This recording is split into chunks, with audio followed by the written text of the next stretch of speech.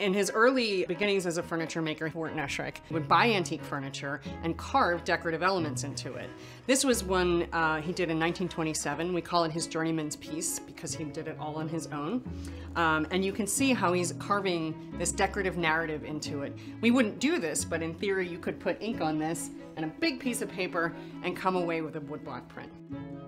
This piece was for his own purposes in organizing his prints. If a client came over for talk about a commission, everything was organized and readily available. So these lovely drawers.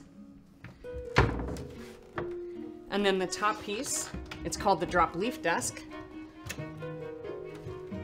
Comes down with this beautiful leather blotter and this very, very functional interior for all the trappings of a home office. There's a drawer along the bottom of this because you always need more space to put your items, and so he pops another drawer in here. The standing height desk is something that is very popular in these days. This is something he was way ahead of the curve on then. Another thing about this desk is the absence of handles. There's no hardware on Esherick furniture. Instead, there are these wonderful intuitive little nooks for your fingers.